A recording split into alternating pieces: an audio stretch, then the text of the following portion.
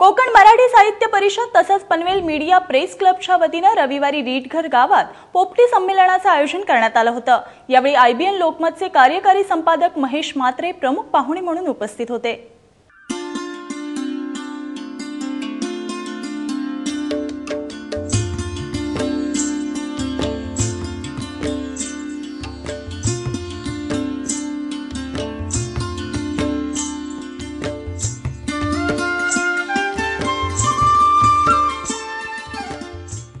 दरम्यान मराठी साहित्य परिषद तसंच पनवेल मीडिया प्रेस क्लबच्या वतीनं पनवेल तालुका अंतर्गत रीटघर गावात पोपटी संमेलनाचं आयोजन रविवारी करण्यात आलं होतं.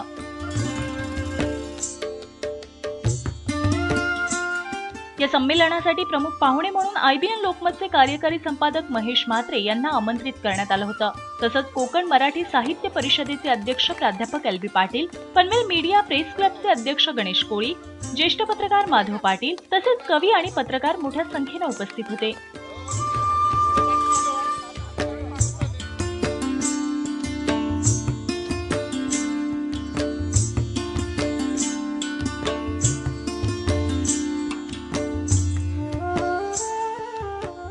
यावेळी कवी मंडळींनी आपल्या कविता सादर केल्या.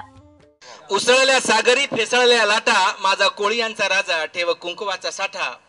नये नाचारा सागरी तुझी होरीर डोलते. नये नाचारा सागरी तुझी होरीर डोलते. रोज उरावरी यमराज फेरीर घालते. हर लाटेची रे भीती हर सासेची रे भीती. हर हर लाटेची रे भीती हर सासेची रे भीती. काही फुटतील वाटा.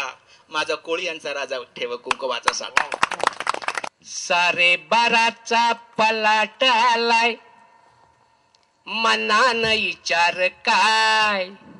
अर मांग पुर बघतस कनाला मारुतीन बिसून जाय. अर मांग पुर बघतस कनाला मारुतीन बिसून जाय. एक पलाट ऐशी लाखाला. एक पलाट ऐशी लाखाला. इस पलाट जमीन हाय. औरा पैसा ठेवाचा कनाला कलबान खेळायचा कलबान खेळाचा हाय. अर मांग पुर बघतस कनाला मारुतीन बिसून जाय. मुली मुली आता कुठे आबला राहिल्या? कुठे कुठे आणि किती किती उंचीवर मुली पाहिल्या? कुठे कुठे आणि किती किती उंचीवर मुली पाहिल्या? हे खरं आहे की वधू परीक्षेला थोड्या बावरतात मुली. हे खरं आहे की वधू परीक्षेला थोड्या बावरतात मुली पण हेही तितकंच खरं आहे की कितीही मोठ्या संकटात स्वतःला पटकन सावरतात मुली. पण तसेच यावेळी महेश म्हात्रे यांनी देखील या पोपटीचे कौतुक करत आपल्या भावना व्यक्त केल्या. मला आनंद होतो इथे सांगायला की रविवारची संध्याकाळ माझी कारणी लागली असं मला वाटतं. आपली संस्कृती नेमकी काय आहे? संस्कृतीला इंग्लिशमध्ये कल्चर म्हणतात. आणि भारताबद्दल जर म्हणायचं तर agriculture is culture of India की आग्रात राबणारा असतो तो आगरी नगरात राहणारा असतो तो नागरी डोंगरात राहणारा असतो तो डोंगरी परंतु जो आग्रात राहणारा जो शेतकरी असतो जो बळीराजा असतो त्याच्याच बळावर खऱ्या अर्थाने इथली संस्कृती टिकलेली आहे. आपले कुठलेही सण समारंभ घ्या आपला पूर्ण कॅलेंडर घ्या आपलं सगळं कॅलेंडर हे शेतीवर आधारित कॅलेंडर आहे.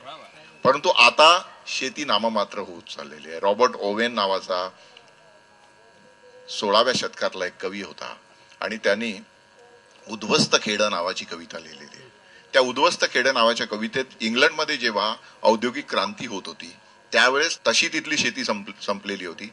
त्या शेतीवर त्यांनी उद्ध्वस्त खेडे म्हणून जी कविता लिहिली होती त्या कवितेत ते म्हणतात की या भागातले राजे रजवाडे जातील संपतील पुन्हा तयार होतील. सरदार दरकदार जातील संपतील पुन्हा तयार होतील.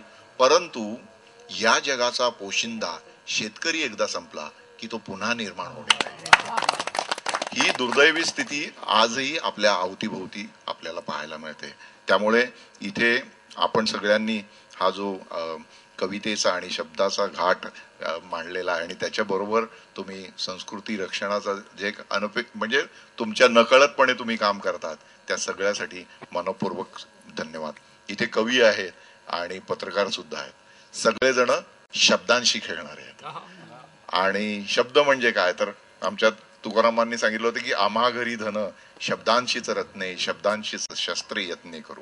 शब्द आम्हा जीवीचे जीवन शब्दे वाटू धन जनलोका तुका म्हणे केला शब्देची हा देव शब्दाची गौरव पूजा करू. तर शब्दाचं हे जे सामर्थ्य आहे हे सामर्थ्य आपण सगळेजण जाणतो. आणि त्या शब्दांच्याच बळावर शब्दांच्याच सामर्थ्यावर आपल्या सगळ्यांचं जगणं सुरू आहे. या आता आमच्या अवतीभोवतीच्या ज्या समस्या आहेत या आमच्या अवतीभोवती सु- जो बदल मोठ्या प्रमाणात समाजामध्ये चाललेला आहे. हा बदल जितका जास्त चांगल्या पद्धतीने शब्दांच्या माध्यमातून टिपला जाईल तुम्ही पत्रकारितेबद्दल म्हणालात. पत्रकार म्हणजे तुम्ही म्हणाला माहूत असतो. पत्रकार काय काय असतो म्हणजे? त्याच्यात त्या शब्दांमध्ये जे सामर्थ्य आहे हे सामर्थ्य फक्त तुम्हाला ओळखता आलं पाहिजे. हो गई है पीर पर्वत सी पिघलनी चाहिए. पीर म्हणजे पीडा. हो गई है पीर पर्वत सी पिघलनी चाहिए. आज हिमालय से कोई गंगा निकलनी चाहिए. आज ये दीवार पर्दों की तरह हिलने लगी। शर्त ये थी कि बुनियाद हिलनी चाहिए। सिर्फ़ हंगामा खड़ा करना मेरा मकसद नहीं। सिर्फ़ हंगामा खड़ा करना मेरा मकसद नहीं। मेरी कोशिश यह है कि ये सूरत बदलनी चाहिए। मेरे सीने में नहीं तो तेरे सीने में सही।